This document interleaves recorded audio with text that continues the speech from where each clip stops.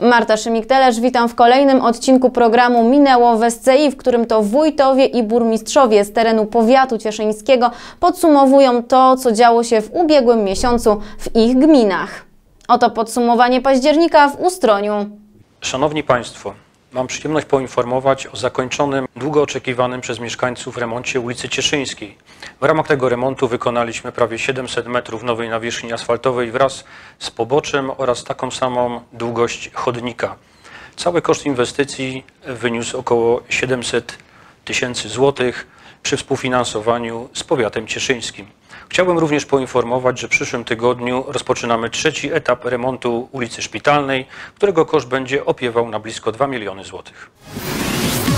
Bardzo serdecznie dziękuję wszystkim uczestnikom oraz kibicom piątej edycji biegu Piekło Czantori, jednego z najtrudniejszych biegów górskich w Polsce.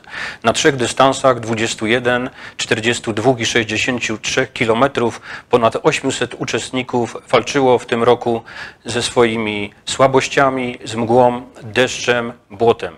Jeszcze raz dziękuję serdecznie za udział oraz liczne odwiedzenie naszej imprezy.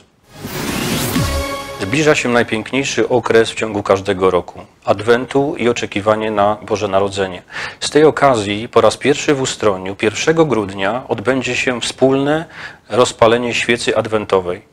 I tak każdego tygodnia będziemy w oczekiwaniu na Boże Narodzenie rozpalać kolejną świecę. Jako mieszkańcy miasta i wszyscy turyści, których bardzo serdecznie zapraszam do odwiedzenia naszej miejscowości uzdrowiskowej. Ten obfitujący w wiele wydarzeń rok zakończymy wieczorem sylwestrowym z mappingiem bez sztucznych ogni oraz z apelem o przyniesienie pokarmu dla czworonogów, którymi chcemy się zająć w przyszłym roku. To było podsumowanie października, a już teraz bardzo serdecznie zapraszam do oglądania kolejnego odcinka Minęło w SCI. Do zobaczenia!